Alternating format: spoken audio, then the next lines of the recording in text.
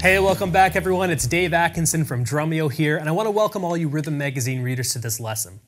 Now, in the first lesson, we talked about the most popular or the most common issue drummers face, and that's note spacing and timing issues. So, what's the second?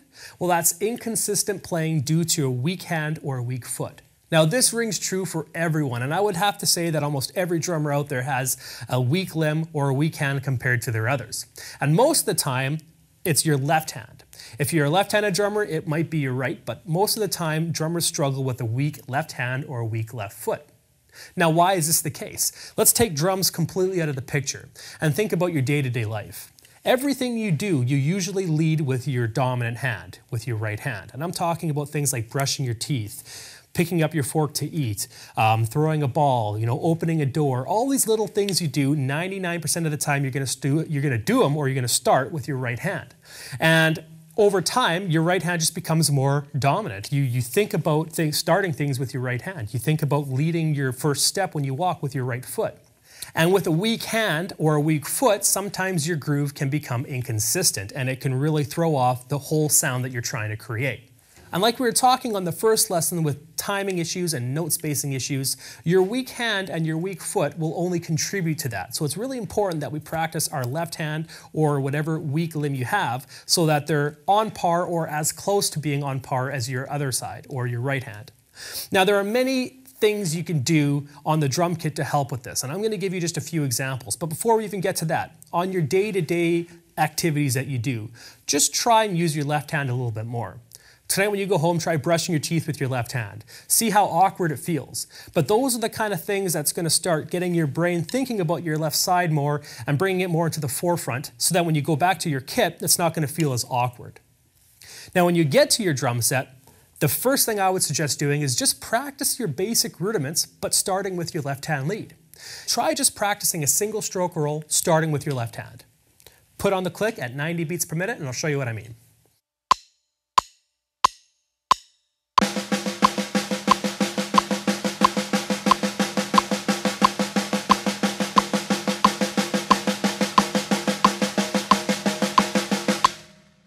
So as you can see, it was just a simple rudiment, but I was just playing it with the left hand starting on the one.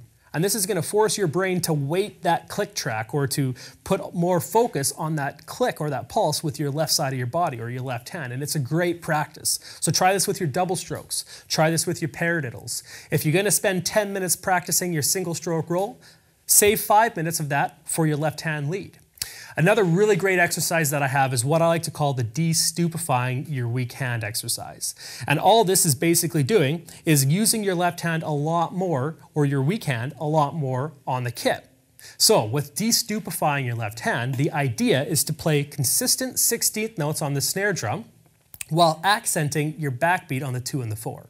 Okay, just like this.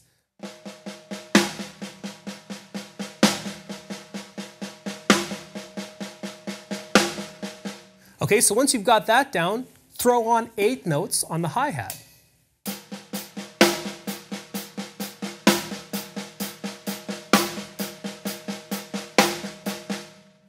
And from there, finish the groove off by throwing a bass drum on the one and three.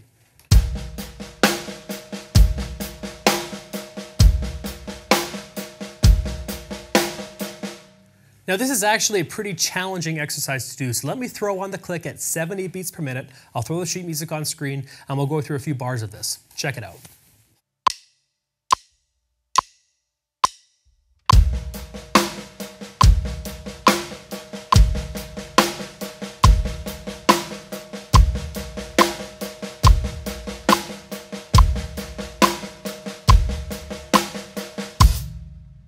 Why I like this exercise so much is not only does it help with your dynamic control with your left hand, but it also just gets it working a lot more.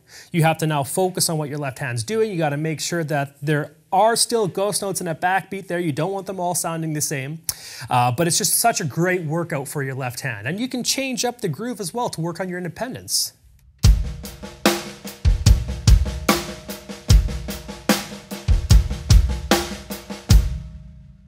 There are just so many possibilities with this style of exercise that you can do, changing the groove up, playing eighth notes on the snare instead of sixteenth notes, or maybe eighth note triplets if you're doing a shuffle or a swung pattern.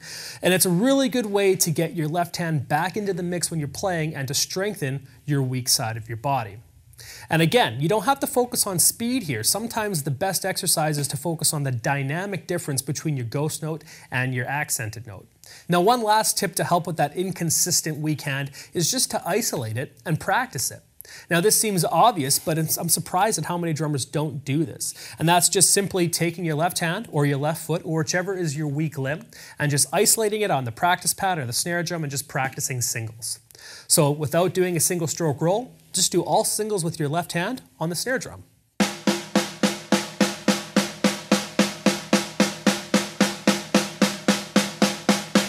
It seems like a simple and obvious exercise to do, but it really does help. And again, like I said, all we're trying to do is get our left hand or our weak side working more.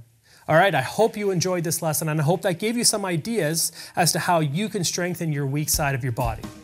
I'll see you in the next lesson. We're going to talk about the third most voted issue drummers have. I'll see you there.